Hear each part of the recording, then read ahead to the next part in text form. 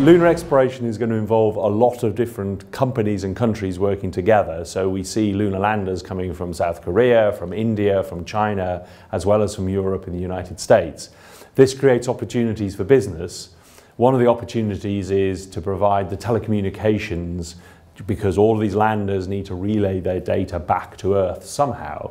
And not everybody wants to build their own communication satellite. So the idea is from a, a European company, that happens to be in the UK, is to provide the service that everybody else needs at a price, of course. Uh, and that involves building the, the first commercial deep space uh, ground segment, the, gr the ground terminal, but also a small satellite. And that could fly as soon as 2022 or 2023 and start to provide those first services. And then it could grow into a whole constellation of satellites by the end of the next decade. Today you see a trend of more commercialization uh, in space and one of the things we're involved with is providing, uh, allowing commercial companies to provide services. So now anybody can get a, a piece of science or anything they like to the space station by going through a commercial European company. Um, that's going to increase, I think, in the future. For the gateway, it'll be about transportation services are the first things that are likely to be commercialized. So transport to the gateway, uh, maybe the provision of some of the services on the gateway. It's going to be a small place. Uh, it's not as big as the space station, so it'll be less opportunities maybe for commercial research. Um, but I think there are also going to be commercial landers going to the surface of the moon, and we are interested in ESA in buying those transportation services down to the moon for our science and technology. So it's going to be the growing lunar economy is something that we will see happen.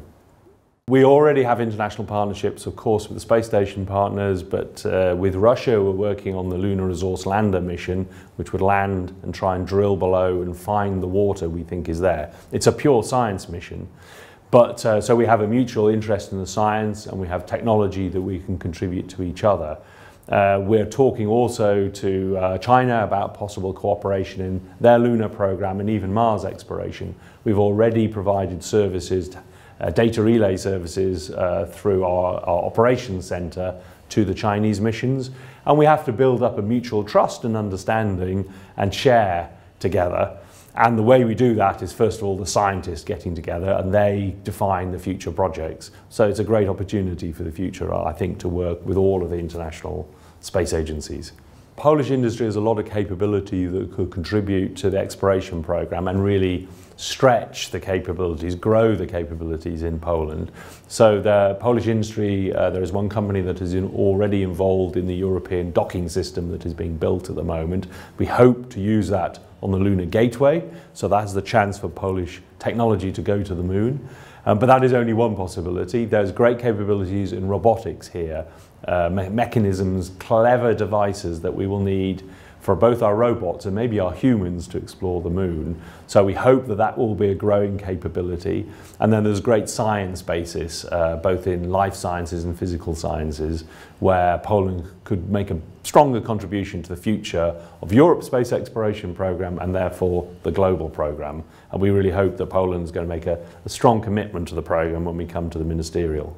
So uh, today we have a group of six astronauts uh, that work aboard the space station one at a time and the plan is each one of those gets a second flight.